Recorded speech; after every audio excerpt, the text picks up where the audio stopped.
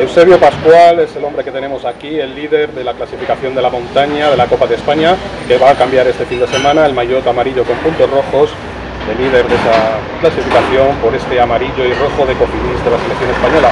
Eusebio, me imagino que contento por estar con la selección, ¿no? Sí, muy contento de estar aquí, a ver si una oportunidad y a ver si aprovechamos.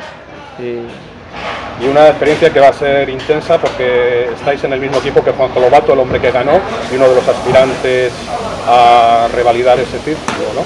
Sí, a ver si lo podemos ayudar en todo lo posible, sabemos que viene fuerte y a ver si hace lo mismo que el año pasado.